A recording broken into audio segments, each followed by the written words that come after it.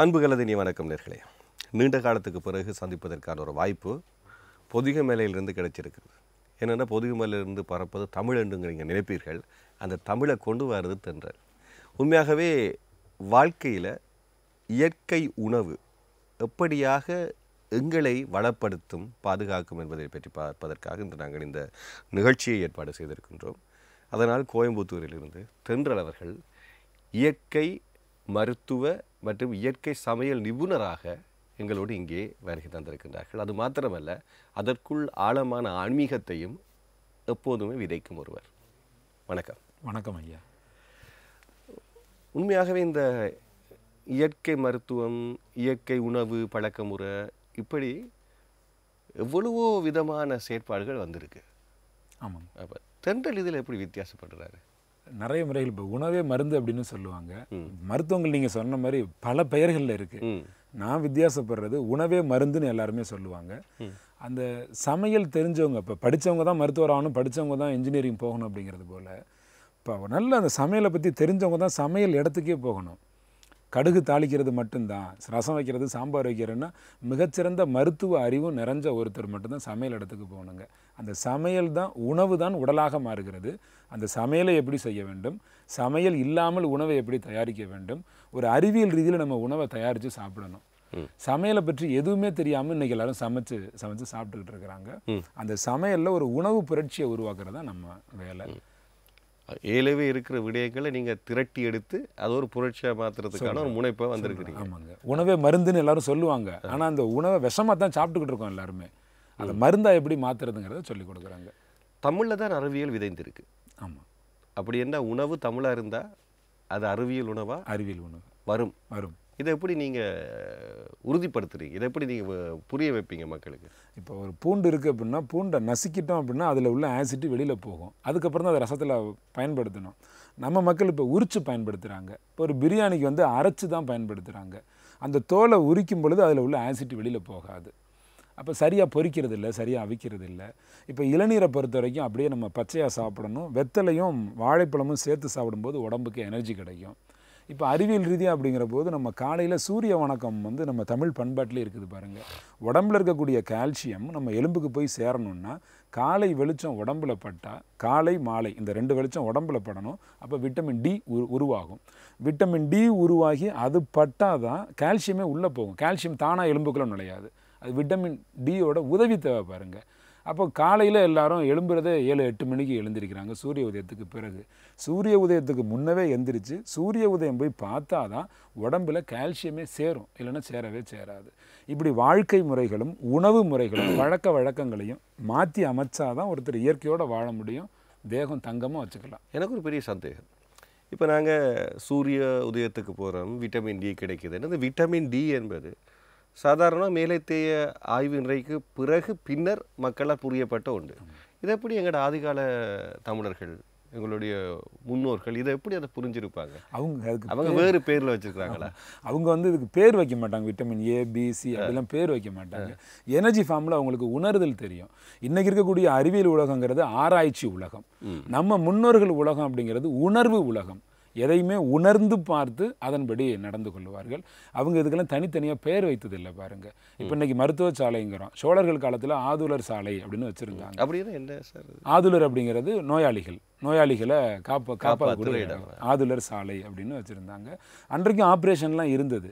உடனடியாகவே காயங்கள் ஆறக்கூடிய மருத்துவங்கள்லாம் அன்றைக்குமே இருந்தது.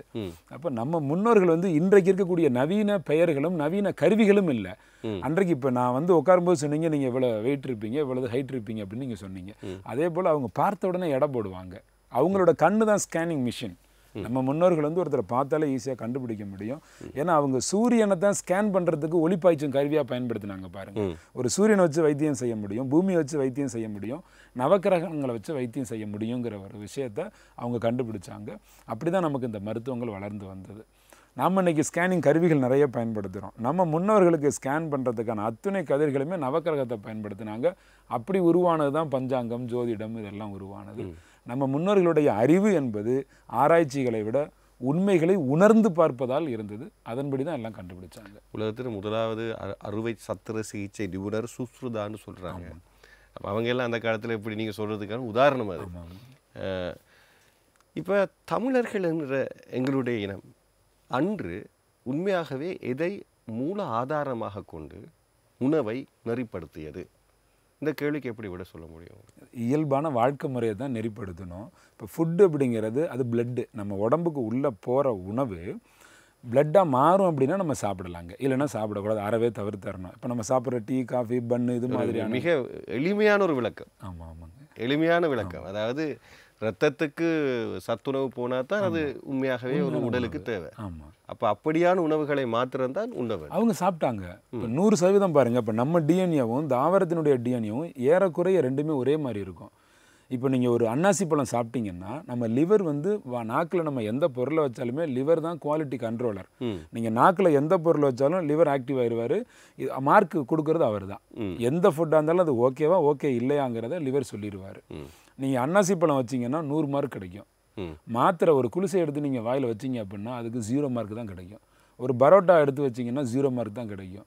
இயற்கையாக இருக்கக்கூடிய எந்த உணவோ அந்த உணவை நம்ம வாயில் வச்சோம்னா லிவர் பார்ப்பாரு ரைட் இது வந்து நமக்கு தேவையான தகுந்த உணவுன்னு மார்க் நூறு மார்க் கிடைக்கும்.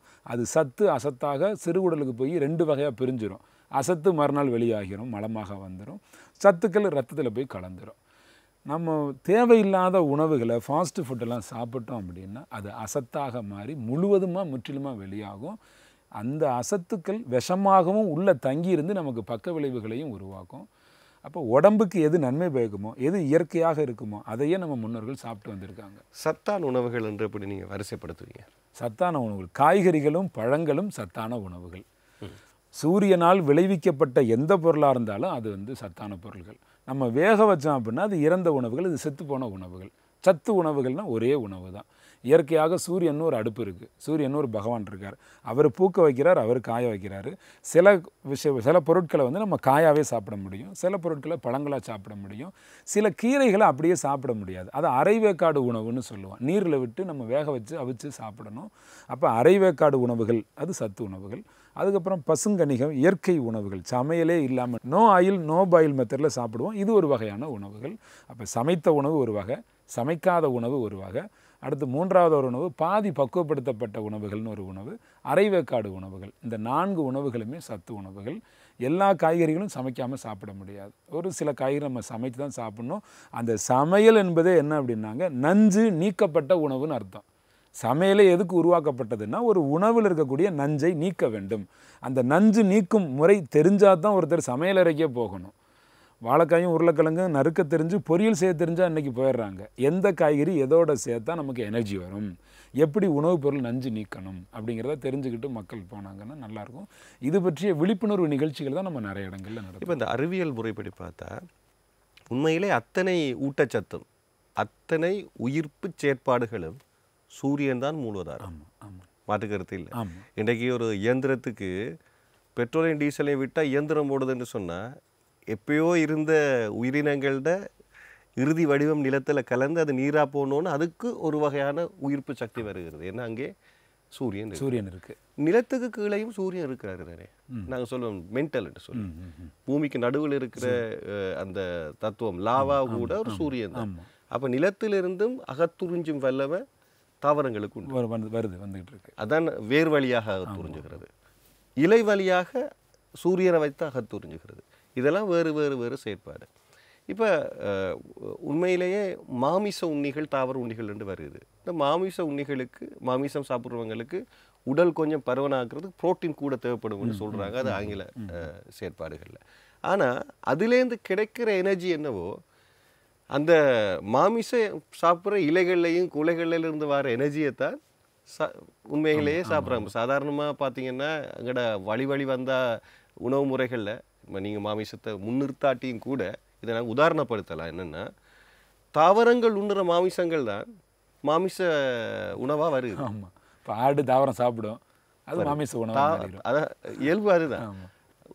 மாமிசம்னு சொல்லும்போது அந்த மாமிசம் தாவர உண்ணியாக தான் இருக்கு. தாவர உண்ணியாக தான் இருக்கு. விலங்கு உண்ணிகளை வந்து மாமிசமா பயந்து நம்ம ஓடிடுவோம். அதை சாப்பிட மாட்டோம். பயன்படுத்துறது இல்ல. பயன்படுத்துறது இல்லை. இப்படி ஒரு சிங்கத்தையோ புலியோ கறியா நம்ம சாப்பிட சாப்பிட்றது இல்லை. இதில் என்ன காரணம்னா அதுக்குள்ளே இருந்து வரக்கூடிய சத்தம் நிறைவான சத்தம் இருக்கிறதுக்கு வாய்ப்பு இல்லை. இதைத்தான் சொல்கிறாங்க அப்போ இப்போ இப்போ நாங்கள் உண்மையாகவே இந்த எங்களுக்கு கிடைக்கிற இந்த பொருள்களை நாங்கள் இந்த காய்ச்சிறத்தால அல்லது வந்து நாங்கள் அதை சமைக்கிறதால எங்களுக்கு என்ன நன்மை கிடைக்க போகுது? இது நீங்கள் எப்படி சொல்லுவீங்க? எனக்கு இது ஒரு பெரிய கேள்வியாக இருக்குது. நாங்கள் ஏன் சமைக்கிறோம் இது எப்போ வந்திருக்கும் ஏன் இந்த சமையல் என்கின்ற திட்டம் ஏன் எங்களோட சமூகத்துக்குள்ள வந்தது? சமையல் முதன் முதலாக உருவானது பள்ளிகளிலே படிக்கும்போதே நமக்கு சொல்லிக் கொடுப்பாங்க. நெருப்பை மனிதன் கண்டுபிடித்தான் சக்கரத்தை கண்டுபிடித்தான்னு சொல்லி கொடுப்பாங்க. சிக்கிமிக்கி கற்களை வச்சு நெருப்பை உருவாக்கும் பொழுது காடு தீப்பற்றி எரிந்து அந்த காடு எரிஞ்சு போகும்போது நிறைய விலங்குகள் எரிஞ்சிருக்கு. நிறைய காய்களும் மரத்தில் இருந்த காய்களும் எரிஞ்ச உடனே இப்போ சாப்பிட்றதுக்கு வேறு பொருள் இல்லை மனிதனுக்கு. அப்போ முதன் முதலாக ஆதி மனிதன் வெந்த உணவுகளை அப்போ தான் முதன் முதலாக சாப்பிட்றான். அப்போ ஏற்கனவே சாப்பிட்டோம். எப்பயுமே நம்ம புதியது ஒன்றை அறிமுகப்படுத்தும் போது நமக்கு இக்கரைக்கு அக்கறை பச்சைங்கிறது போல். வேற ஒரு உணவு இது நல்லா இருக்கே அப்படின்னு அவனுக்கு புரிஞ்சு அப்போ கற்களை வச்சு பயன்படுத்தி சமையல் அங்கேருந்து தான் உருவானது. இயற்கையாக காடு எரிஞ்சு அதில் இருந்த காய்களையும் விலங்குகளையும் எரிஞ்ச மாமிசங்களை சாப்பிட்டு பழகி அதன் பிறகு தான் அந்த சமையலே உருவாகியிருக்கு.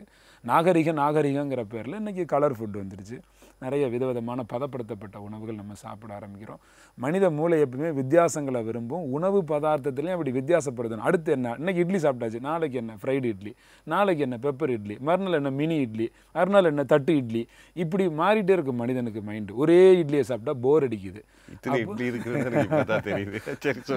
நிறைய நிறைய வகைகள் நம்ம விதவிதமாக சாப்பிட்றதுக்கு காரணம் என்னென்னா மூளை ஒரு விஷயத்தை விரும்பாது. பல விஷயம் ட்ரை பண்ணி பார்ப்போம். நெக்ஸ்ட் என்ன நெக்ஸ்ட் என்னென்னு போயிட்டே இருக்கும். இப்படி தான் சமையல் உருவானது. சமையல் என்பது என்னென்னா இன்றைக்கி உணவை கொலை செய்யும் இடமாக இருக்குது உணவை சமையலறையில் வச்சு கொலை செய்கிறோம் கொலை செஞ்சு உணவுக்கு நரக தண்டனை கொடுக்குறோம். அந்த உணவை எடுத்து நம்ம பிளேட்டில் வச்சு சாப்பிட்றோம். இப்போ நரக தண்டனை கொடுக்கப்பட்ட உணவை செத்த உணவை சாப்பிட்றதுனால நமக்கு சத்து கிடைக்கிறது இல்லை. நம்ம உடலும் சீக்கிரமாக மூப்பாகுது. சீக்கிரமாக இறந்து போயிடுறோம். நூறு இரநூறு வருஷம் வாழ்ந்த மனிதன் இன்றைக்கி வந்து ஐம்பது வயசு அறுபது வயசு முப்பத்தஞ்சு வயசு முப்பத்தி நாலு வயசில் ஹார்ட் அட்டாக் வந்து இறந்து போகிறவங்கலாம் இருக்காங்க. இன்றைக்கி பரிதாபத்துக்குரிய நிலமையில் இருக்காங்க மக்கள். சமையலை கொஞ்சம் நம்ம குறைச்சி இயற்கை உணவுகளை சாப்பிடணும். சமையல் செஞ்சு தான் சாப்பிடுவேன்னு எல்லாரும் சொன்னாலும் கூட பரவாயில்ல. கொஞ்சம் சாப்பாட்டை குறைங்க. இல்லை நீங்கள் பேசும்போது இன்சூ இன்சூரன்ஸ் ஏஜென்ட் மாதிரி இருந்துச்சு. எல்லாருமே நீ உங்களுக்கு இப்படி நடக்க போது பொலிசியை போடுங்கன்னு சொல்லுவாங்க. நீங்கள் அதே மாதிரி சாப்பாடு போடுறீங்க. அவ்வளோதான் சரி நகைச்சுவை ஒரு பக்கம். இப்போ அடிப்படையில் ஒரு கேள்வி இருக்குது தானே. சுவை எப்படி இருக்கும்? இயற்கை உணவு சமைக்காமல் எல்லாரும் வைப்பாங்க. எல்லாமே சொல்றாங்க எப்படி சாப்பிட்றது? எல்லாருக்கும் அந்த ஒரு ஆசை இருக்குன்னு தானே. சரி நீங்கள் பார்க்குறவங்க எல்லாருமே நான் சில உணவுகள் சொல்கிறேன் செய்து பாருங்கள் சில உணவு ரெண்டு மூணு உணவு சொல்கிறேன் செய்து பாருங்கள் ரொம்ப சுவையாக இருக்கும். நிரம்ப சுவையாக இருக்கும். நீங்கள் தேவலோகத்திலிருந்து அமிர்தம் வரும். அமிர்தம் கடைந்து எடுப்பார்கள். அமிர்தம் தேவர்கள் உண்ணுவார்கள்னு கேள்விப்பட்டிருப்பீங்க. அந்த அமிர்தத்தை நான் உங்கள் வீட்டுக்கே கொண்டு வந்து தர்றேன். ஒரு வாழைப்பழம் எடுங்க. சின்னதாக வட்ட வட்டமாக நறுக்கிடுங்க இயற்கை உணவு. வட்ட வட்டமாக நறுக்கிடுங்க ஒரு பிளேட்டில் அடுக்கி வச்சுக்கோங்க. தேங்காய் துருவல் எடுத்து அது மேலே அடுத்த நெக்ஸ்ட் லேயர் வந்து அப்படியே ஒரு கேக்கு மாதிரி இருக்கும் பார்க்குறதுக்கு நீங்கள் வாழைப்பழம் அடிக்கிட்டு மேலே வந்து தேங்காய் துருவல் வச்சிடணும் நிலக்கடலை தூள் கொஞ்சம் பொடிச்சு எடுத்துக்கணும். அது மேலே அது அடுத்து மூணாவது லேயர் அது. நாலாவதாக கொஞ்சம் தேன் எடுத்து அது மேலே விட்டுட்டீங்க அப்படின்னா அதனுடைய சுவை அதிகமாயிரும். அதை நீங்கள் அப்படியே ஒரு ஸ்பூன் வச்சு சாப்பிடலாம் கையாலே அள்ளி இது சாப்பிடலாம் ஒரு ஒரு வேளை காலை உணவுக்கு போதுமா? காலை உணவு வாழைப்பழ பேடாங்கிற உணவு இது காலை உணவுக்கு போதும். போதுமான அப்புறம் பசிக்காது. அப்புறம் பசிக்காது. நீங்கள் இன்னும் இணை உணவு தேவைனாலும் எடுத்துக்கலாம். ஒரு வெண்டைக்காய் எடுத்து நீங்கள் நேர் நேராக கீறிட்டு மிளகு சீரகத்தூள் உப்பு கொஞ்சம் சேர்த்து சாப்பிட்டீங்கன்னா கார வெண்டைக்கான்னு பேர். நீங்க அந்த செய்யும் போது கூட அப்படியே நீங்க அந்த வெண்டைக்காயை நறுக்குறீங்களே. அது ரொம்ப பழக்கமான உணவுகள். சொல்லி சொல்லி பழகிருச்சு. இதுக்கு இதுக்கு என்ன பேர் அதுக்கு? இது வந்து வெண்டைக்காய்க்கு? வெண்டைக்காய் கார வெண்டைக்காய்னு சொல்லுவோம். கார வெண்டைக்காய் இந்த கார வெண்டைக்காயில் பொரியல் பண்ணலாம் கார வெண்டைக்காயில் கீர் பண்ணலாம் கார வெங்காயில கார வெண்டைக்காயில் வந்து தலை குளிக்கிறதுக்கு ஷாம்பு பண்ண முடியும். வெண்டைக்காயில் வந்து ரசம் பண்ணுவோம். வெண்டைக்காயிலே நாங்கள் புளிக்குழம்பு பண்ணுவோம். வெண்டைக்காய் பொரியல் வெண்டைக்காய் அவியல் வெண்டைக்காய் தோசை வெண்டைக்காய் இட்லின்னு வெண்டைக்காயில் இவ்வளோ வகை இருக்குது எல்லாமே இயற்கை அடுப்புக்கே போக மாட்டோம் இந்த சமையல் தென்றலுக்கு எப்படி வந்தது? சமையலுக்கும் தென்றலுக்கும் என்ன தொடர்பு? நான் வந்து முதன் முதலாக படித்த பாடமே ஃபைவ் ஸ்டார் ஹோட்டலில் எப்படி சமைக்கிறதுன்னு கேட்ரிங் படிப்பு தான் படிச்சிருந்தேங்க. ஹோட்டல் மேனேஜ் ஹோட்டல் மேனேஜ்மெண்ட் தான் படித்தேன் படித்து நிறைய ஹோட்டலில் ஒர்க் பண்ணேன். அதுக்கப்புறம் வந்து அங்கே நிறைய ஹோட்டல் ஸ்டார் ஹோட்டல்லாம் விஐபி தான் வருவாங்க. அவங்க எல்லாரும் வந்து என்கிட்ட நான் ரொம்ப ருசியாக சமைப்பேன். அப்போ எல்லாரும் வந்து என்கிட்ட கேட்பாங்க எப்படி உங்களுக்கு தெரிஞ்சிச்சு அவங்களுக்கு? இப்போ நாம் இல்லை இல்லை.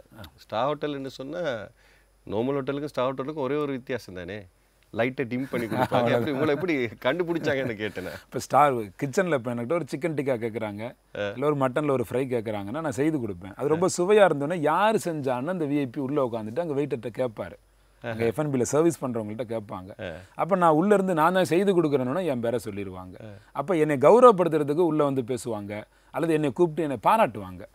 அப்போ ஷெஃப் அப்படிங்கிற மாதிரில கூப்பிட்டு வச்சு பேசுவாங்க. நல்லா நீங்கள் செஞ்சு கொடுத்தீங்க நல்லா இருக்கு அப்படின்னு. கேரளாவில் பாண்டிச்சேரியில் நிறைய இடங்கள்ல இது மாதிரிலாம் எனக்கு பாராட்டும் பொழுது அப்படி தான் நான் அறிமுகமானேன் அப்போ அவங்க எல்லாருமே அதுக்கப்புறம் என்கிட்ட என்ன சொல்ல ஆரம்பிச்சிட்டாங்கன்னா நீங்கள் இதெல்லாம் செய்து கொடுக்குறீங்க. ஆனால் எனக்கு தைராய்டு இருக்குது சுகர் இருக்குது எனக்கு இந்த உணவு ஒத்துக்காது. நீங்கள் சமைக்கிறீங்க எனக்கு சாப்பிட ஆசையாக இருக்குது ஆனால் எனக்கு ஒத்துக்காது அப்படின்னு சொல்ல ஆரம்பிச்சாங்க. கஸ்டமைசேஷன் ஃபர்ஸ்ட்டாக வருது. உங்களோட லைஃபுக்குள்ள ஆமா. அதை எப்படி நீங்க பாசிட்டிவ் ஆக்கினீங்க? அதுக்கப்புறம் தான் நான் டயட் உருவாக்க ஆரம்பித்தேன் அந்த டயட்டீஷியனாக நான் மாற ஆரம்பிச்சது அதுக்கப்புறம் தான். நியூட்ரிஷனை பற்றி அப்புறம் தெரிஞ்சுக்க ஆரம்பித்தேன் இன்னென்ன வியாதி உள்ளவங்களுக்கு எந்தெந்த சமையல் உணவு கொடுக்கலாங்கிறதுக்குள்ளே அப்போ தான் ஏன்னா வர்றவங்க விஐபி ஆசைப்பட்டு கேட்குறாங்க உங்கள் உணவை சாப்பிடணுங்கிறாங்க. ஆனால் எனக்கு வியாதி இருக்குது ஒத்துக்காதுங்கிறாங்க.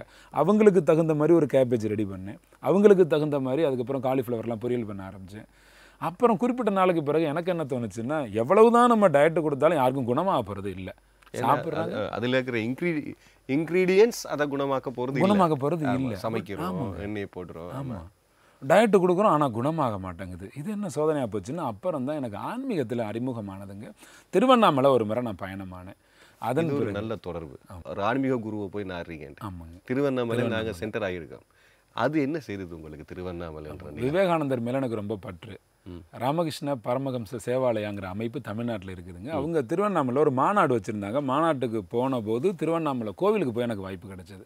அங்கே நிறைய சுவாமிமார்கள் சித்தர்கள் நிறைய எனக்கு வந்து அந்த மேலே ஜோதி கொடுக்குற இடத்துக்கு மலை மேலே அழைச்சிட்டு போய் எனக்கு நிறைய தகவல்கள் சொன்னாங்க. அதன் பிறகு தான் நான் வடலூருக்கு அடுத்த பயணம் போகும்போது சாப்பிடாமலே அங்கே நிறைய பேர் இருந்தாங்க பார்த்தேன். உணவு கொஞ்சம் கூட எடுத்துக்காம காற்றை உறிஞ்சி கொண்டு வாழக்கூடிய சாதுக்கள் நிறைய பேர் இருந்தாங்க. புராணத்திலேயே வாழக்கூடிய ஆமாங்க. ஆச்சரியமா போச்சு. திருவண்ணாமலை இருக்கிறாங்க. திருவண்ணாமலையிலும் கூட இருக்கிறாங்க. பேசியிருக்கோம். அதன் பிறகு தான் அப்புறம் தேங்காயினுடைய அற்புதம் எனக்கு தெரிய வருது. அதுக்கப்புறம் இயற்கையை பற்றி தெரிய வருது. அப்புறம் பீட்ரூட் கீர் தேங்காய் கீர் இப்படி மக்களுக்கு நான் அதன் பிறகு தான் இயற்கைக்குள்ளே வர ஆரம்பித்தேன் வேலையை விட்டுட்டேன். அதுக்கப்புறம் வேலைக்கு போகலை. அப்போ வருமானத்துக்கு? வருமானத்துக்கு அதை பத்தி யோசிக்கல. யோசிக்கலைங்கிறத தாண்டி நமக்கு ஒரு குறிப்பிட்ட அளவுக்கு மேலே பணம் தேவையில்ல பாருங்க. இப்போ வீடு தேவை. ஒரு அன்றாடம் நம்ம வாழ்க்கை நடத்துறதுக்கு கொஞ்சம் பணம் தேவை. அது பூர்த்தி ஆயிடுச்சுன்னா அப்புறம் அதிகம் சம்பாரிச்சு என்ன செய்ய போகிறோம் அந்த மனநிலைமைக்கு வந்த நேரத்தில் அந்த நே அந்த வாய்ப்புகள் எனக்கு கிடைச்சது. எனக்கும் பணம் இனிமேல் வேண்டியது இல்லை அப்படிங்கிற ஒரு சூழ்நிலைக்கு நான் வந்துட்டேன். ஒரு கம்ஃபர்ட் ஜோனுக்கு வந்தாச்சு. அந்த நேரம் இந்த இயற்கை உணவை பற்றி எனக்கு புரிய ஆரம்பிச்சு நான் அடிப்படையில் கேட்ரிங் உணவு நல்லா சுவையாக தயாரிப்பேன் அப்படின்னோடனே அதுக்கப்புறம் தான் ஒரு பொங்கல் ஒரு மோர் இட்லி தோசை இது எல்லாமே இயற்கையாக உருவாக்க முடியும்னு நான் மக்களுக்கு சொல்ல. இதுக்கு உங்களுக்கு ஒரு குருவானவர் இருந்தாரா? நீங்க இதை போய் இப்ப கற்றுக்கொள்றதுக்கு யாராவது உங்களுக்கு உதவி செஞ்சிருக்காங்க ஆன்மீகத்துக்கு நிறைய குரு இருக்காங்க. இயற்கை உணவு நான் ஏற்கனவே கேட்ரிங் படிச்சதுனால எனக்கு ரொம்ப ஈஸியாக மாறிடுச்சு. நீங்களே தேடி பிடிச்சி ஆமாம் ஆமாங்க. இப்போ தேங்காய் அரைச்சு கொஞ்சம் எலுமிச்சம்பழம் கலந்தோம் அப்படின்னா எலுமிச்சம்பழம் ஜூஸ் கலந்தோம் கலந்தோம்னா தேங்காய் பாலில் எலுமிச்சம்பழ ஜூஸ் கலந்தா அது மோராக மாறிடும் நாலு மணி நேரம் கழித்து பார்த்தோம் அப்படின்னா அது தயிராக மாறிடும் சாப்பாடில் போட்டு சாப்பிட்டோம் அப்படின்னா பாலில் ஒரு மோர் தயார் பண்ணால் எப்படி இருக்குமோ அதே போல் இருக்கும். மாறவே மாறாது ருசி. தேங்காய் தேங்காய் பால் கொஞ்சம் லெமன் பிழிஞ்சு விடணும். அவ்வளவுதான். ஆமாங்க. இப்போ நீங்கள் இந்தியா வந்தீங்கன்னா என்னுடைய பயிற்சிகளில் இல்ல இப்ப நீங்க சொன்ன மூன்று ஐட்டத்தை நான் அப்படி ரெஜிஸ்டர் பண்ணிட்டு இருக்கிறேன். இப்ப பாருங்க என் மனைவி எனக்கு போட்ட குற்றச்சாட்டுகள் எல்லாத்தையும் தவிர்த்து தடிபுடுகாக்கியார் பாருங்களேன். சரி. தேங்காய் பாலில் மோர் தயார் பண்ணலாம் சாம்பார் வைக்கலாம் சைவ மீன் குழம்பு வைக்கலாம் சைவ சிக்கன் குழம்பு வைக்கலாம். அது chicken, இதெல்லாம் நல்ல நல்ல உணவு நோட் பண்ணிக்கொள்ளுங்க. வாழை இலை வச்சு வாழை இலையில சாப்பாடு வைப்போம் பொரியல் வைப்போம் அவியல் வைப்போம் வடை வைப்போம் பாயாசம் ஊறுகாய் சாம்பார் புளிக்குழம்பு ரசம் மோர் எல்லாமே சாப்பிட வைப்போம். அனைத்தையுமே நாங்கள் வந்து ஒரு விருந்து ராஜ விருந்து பண்ணுவோம். நிறைய விருந்துகள் வந்து கூப்பிடுவாங்க. ஒரு காதணி விழாவுக்கு ஒரு கல்யாண விழாக்கெல்லாம் எங்களை கூப்பிடுவாங்க. நாங்கள் இயற்கை உணவு தயாரித்து மக்களுக்கெல்லாம் ப்ரெசென்ட் பண்ணுவோம். நூறு பேர் இரநூறு பேர்னு சாப்பிடுவாங்க. யாருமே இது இயற்கை உணவுன்னு கண்டுபிடிக்க முடியாது. சமையலோட சந்தேகமே பட மாட்டாங்க. இப்போ பிரியாணிக்கு நாங்கள் ஒரு பிரியாணி கொடுப்போம். அந்த பிரியாணி சாப்பிடுவாங்க. அப்படியே சமைச்ச பிரியாணி மாதிரி இருக்கும். கேஸ் வைக்க மாட்டோம். அடுப்பு கிடையாது ஆயில் கிடையாது பாயில் கிடையாது எதுவுமே கிடையாது. இலங்கையில் இது நல்ல மவுஸ் ஆகும் அதெல்லாம் பெரிய தொகை இப்போ. இப்போ நீங்கள் இதை சொன்னீங்கன்னா ஆஹா புது திட்டமே. இதில் உணவும் கிடைக்குது பாருங்க ஆரோக்கியமும் கிடைக்குது பாருங்க. இப்போ கொஞ்சம் அவல் எடுத்து அவல் கொஞ்சம் தேங்காய் தண்ணியில் ஊற வச்சிடணும். தேங்காய் உடைச்சு தேங்காய் தண்ணி அவல் எடுத்துக்கிறோம். அவலில் தேங்காய் தண்ணியில் ஊற வச்சுட்டு கேரட்டு கொஞ்சம் திருவிக்கணும். கொத்தமல்லி தலை சம அளவு அதே அளவுக்கு தேங்காய் பூ. மூணையுமே நீங்கள் போட்டு கலந்தீங்கன்னா தேங்காய் தண்ணியில் ஊறப்பட்ட அவல் நாக்கில் வச்சிங்கன்னா அவ்வளோ தேவாமிர்தமாக இருக்கும் அவ்வளோ ருசியாக இருக்கும். இது மூணையுமே கலந்துட்டு காரம் வேணும்னா மிளகு சீரகம் சேர்த்துக்கணும் இனிப்பு வேணும்னா நாட்டு சக்கரை சேர்த்துக்கணுங்க. சேர்த்து கலந்து இதை சாப்பிட்டு பார்த்தீங்கன்னா அந்த காய்கறி அதில் உள்ள தேங்காயோட அந்த ஜூஸ் தேங்காய் தண்ணி அதில் இருக்கிற அந்த நறுமண பொருட்கள்லாம் கலந்து அந்த தேங்காயோட எடுத்து கடித்து சாப்பிடும்போது உமிழ்நீர் அருவி மாதிரி கொட்டும் வாயில். மென்று சாப்பிடும்போது ஆரோக்கியம் அவ்வளோ அருமையாக இருக்கும். தேகம் எவ்வளவு தேகத்தை குற்றமாக வச்சுருந்தாலும் ஒரு நாற்பத்தி எட்டு நாள் இது போல் இயற்கையாக உணவுகளை சாப்பிட்டாங்கன்னா அப்படியே பச்சை காய்கறி பாருங்கள் பச்சையாகவே கேரட்டு பச்சையாகவே கொத்தமல்லி தவிர அப்படியே தேங்காய். வேக வைக்கவே கிடையாது. எல்லாம் ஒன்றா கலந்து சாப்பிடும்போது நமக்கு ரொம்ப அருமையாக இருக்கும். இந்த அவல் சேர்க்கறதுக்கு என்ன காரணம் அப்படின்னா மக்கள் அரிசி உணவுக்கு பழகிட்டாங்க. அப்போ அவங்கள வந்து சாப்பிடவும் வைக்கணும். சாப்பிட வைக்காத மாதிரியான ஒரு ஃபீலு கொண்டு போகணும். இல்லை உண்மையிலேயே அந்த தேங்காய் கேரட்டு கொத்தமல்லி தலை இதைத்தான் நாங்கள் சாப்பிட வைக்கணும். அதுக்கு இணையாக அவங்கள ஏமாத்துறதுக்கு அவள் சேர்த்துக்கணும் இடையில ரொம்ப இது இதுக்கெல்லாம் நீண்ட கால ஒரு தேடல் பயிற்சி சிந்தனை உங்களுக்கு இருந்திருக்கும். நீங்க இதெல்லாம் முயற்சி பண்ணி பார்த்தீங்களா கொஞ்சம் கொஞ்சமாக முயற்சி செய்து பார்த்து எவ்வளவு காலம் போச்சு அவர்களே? இது வரைக்கும் ஒன்பது ஆண்டு காலமாக பயிற்சிகள் செய்துக்கிட்டு இருக்கோம். எனக்கு இது ஒரு ஆரம்பத்தில் ஒரு மூணு நாலு மாதங்கள் தேவைப்பட்டது. நான் முத முதல்ல பண்ணது பரங்கிக்காய் பாயாசங்கிற ஒரு உணவு. பரங்கிக்காய் மஞ்சள் பூசணிக்காய் இருக்கும். அதை எடுத்து நல்லா துருவிட்டு தேங்காய் பால் மிக்ஸ் பண்ணி நாட்டு சக்கரை கலந்து சாப்பிட்டு அவ்வளோ அமிர்தமாக இருக்குதுங்க. அவ்வளோதான் மெத்தடே அவ்வளோதான் அப்படியே பரங்கிக்காய் மஞ்சள் பூசணிக்காய் எடுத்து நல்லா துருவணும். சின்ன சின்ன பொடி பொடியாக தூவிட்டு தேங்காய் பால் கலந்து சாப்பிட்டு பார்த்தோன்னா ரொம்ப அருமையாக இருக்குது அப்போ தான் எனக்கு தெரிஞ்ச ஒருத்தவங்க சொன்னாங்க வாழைப்பழத்தில் அருகம்பில் போட்டு பிணைஞ்சோன்னாக்க தண்ணியாக மாறிடும் அப்படின்னாங்க. இது என்ன ஆச்சரியமாக இருக்கே அப்படின்னு. யாருமே கடத்துறதுக்கு முயற்சி செய்யல. கொண்டு போய் வீட்டை வச்சு வச்சு. கூட சொல்லிடாதீங்க எங்க இப்பவே ஒரு ஆர்வம் வந்துருச்சு. இந்த ஆர்வத்தோட சேர்த்து இந்த தகவலையும் சொல்லிடுறேன். முன்னெல்லாம் வந்து வாழைப்பழத்தை அருகம்புலோட பிணைஞ்சாங்கன்னா அப்படியே பச்சை தண்ணி மாதிரி மாறிடுங்க இப்போ மக்களுக்கு அந்த அளவுக்கு கடுமையாக பிணைஞ்சிக்க முடியாது. கையால் பிசைஞ்சு எடுக்க முடியாது. ஒரு செங்காய் பழுத்தும் ப- பழுக்க ஆரம்பிக்க துவங்கக்கூடிய ஒரு வாழைப்பழத்தை எடுத்து மிக்சியில் வச்சு அரைச்சிட்டு ஒரு பத்து நிமிஷம் கழித்து எடுத்து புழிஞ்சாங்கன்னா தண்ணியாக கொட்டும் அதிலேருந்து.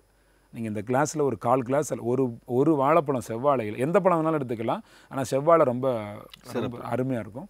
அந்த செவ்வாழை வந்து ஒரு வாழைப்பழத்தில் நீங்கள் கால் கிளாஸ் ஒரு ஐம்பது மில்லி அளவுக்கு தண்ணி எடுத்துடலாம். ரொம்ப அருமையாக இருக்கும் அந்த ஜூஸ் அவ்வளவுமே போதும். அது சாப்பிட்டீங்கன்னா அப்புறம் சாப்பிட வேண்டியதே இல்லை நீங்கள் சாப்பிட வேண்டியது இப்போ விண்வெளிக்கு போகிறவங்களாம் ஒரு மாத்திரை எடுத்துட்டு அதுக்கப்புறம் சாப்பிடாம இருக்காங்கன்னு சொன்னாக்கா மக்கள் நம்புகிறாங்க வாழைப்பழத்துலேருந்து வாட்டர் எடுத்து சாப்பிட்டா நல்லா இருக்கும். சாப்பிட வேண்டியதுன்னு நம்ப மாட்டேங்கிறாங்க. நீங்கள் நம்பணும்னா ஒரு தடவை குடிச்சு பாருங்க. அப்போ தான் நம்புவீங்க செய்து பார்த்தா தான் நம்புவாங்க. நடைமுறைக்கு வரணுங்க. இல்லை தகவல் கேட்கும்போது சில நேரம் ஆச்சரியமாக கூட இருக்க வாய்ப்பு இருக்கு. இல்ல இல்ல புதுமையா கேட்கும்போது எல்லாருக்கும் இப்ப மற்றது இப்ப உலகத்துல இருக்கிற மிக முக்கியமான விஷயம் புதிய விஷயத்துக்கான சந்தேகங்கள் அதிகம். சந்தேகங்கள் அதிகம். அது உங்க தவறு இல்ல சமூகத்தின தவறு. ஏன்னா அவளுக்கு ஏமாற்றம் கொட்டி கிடக்குது. அவளுக்கு ஏமாற்றம் கொட்டி கிடக்குது. நாங்க ஏற்றுக்கொண்டு தான் ஆகணும். அத்தனையும் ஏமாற்று வழின்றதுனால பலருக்கு இது சந்தேகமா இருக்கக்கூடிய வாய்ப்புகள் இருக்கிறது இருக்கு. இப்ப இது யாரிடமிருந்து உங்களுக்கு வந்த கலை? இது நான் ஆரம்பத்தில் நான் கேட்ரிங் நீ ஒன்றுமே நான் டெஸ்ட் படிச்சேன் படிச்சேன் படிச்சேன்றீங்க.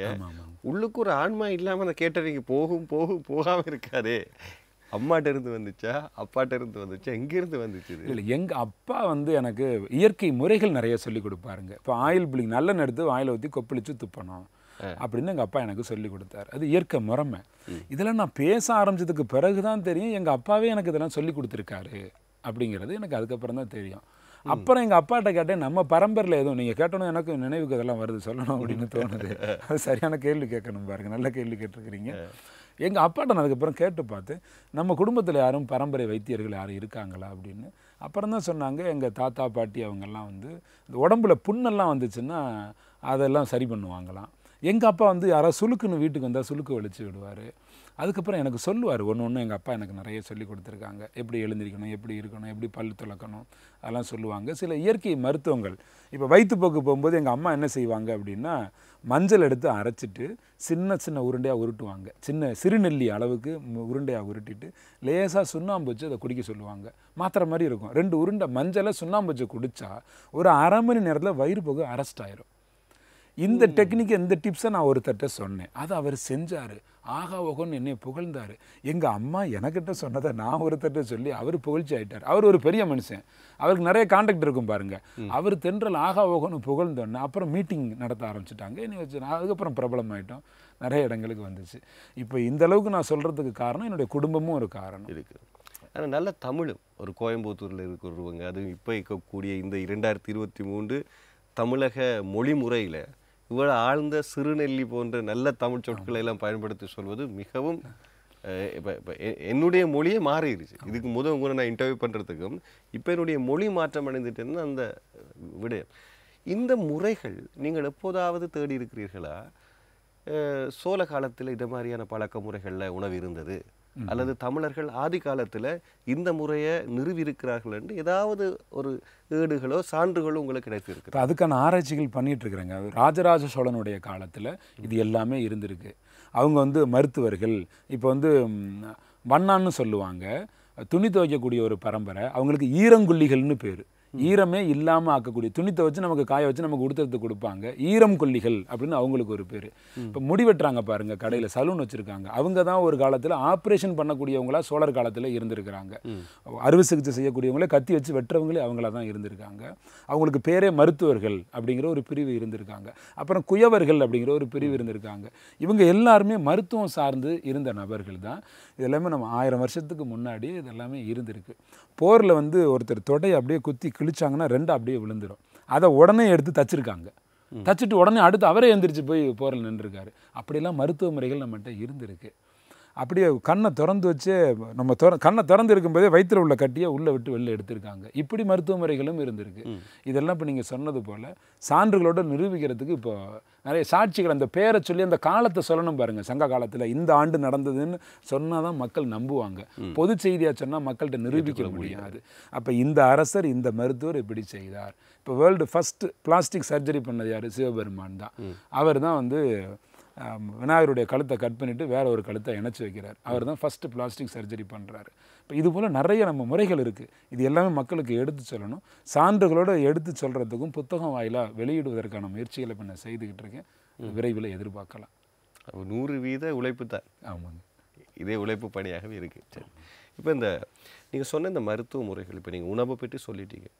இந்த உணவு இப்போ சாதாரணமாக நாங்கள் சொல்லுவோம் மரவள்ளியுடன் இஞ்சி கலந்தால் அது நஞ்சு. இது சிறு வயதிலிருந்து எங்களுக்கு தெரிஞ்ச ஒன்று இப்போ நீங்கள் இப்படி புதுசு புதுசாக பல இணைப்புகளை சொல்லிட்டு இருக்கிறீங்க. இது ஒரு வகையில் ஒரு உணவுக்கான ஒரு மருந்தாகவும் இருக்கலாம்.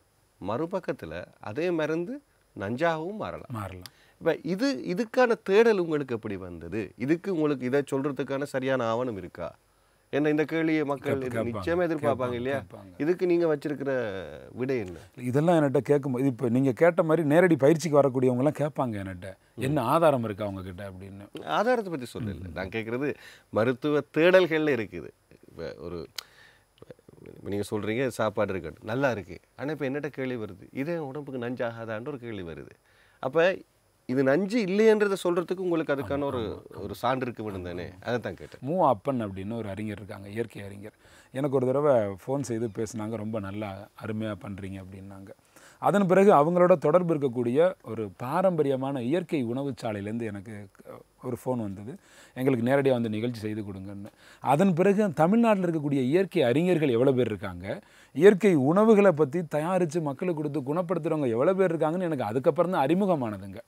அது வந்து நேச்சுரல் லைஃப் சென்டர் அப்படின்னு ஒரு இடம் இருக்குது அது வந்து திருநெல்வேலியில் ஒரு இடம் இருக்குதுங்க. அங்கே தான் யூனிவர்சல் லைஃப் ஆசிரமம் நேச்சுரல் லைஃப் ஆசிரமம் அந்த இடம். அங்கே போன பிறகு தான் எனக்கு பல பேரினுடைய அறிமுகம் கிடைக்குது.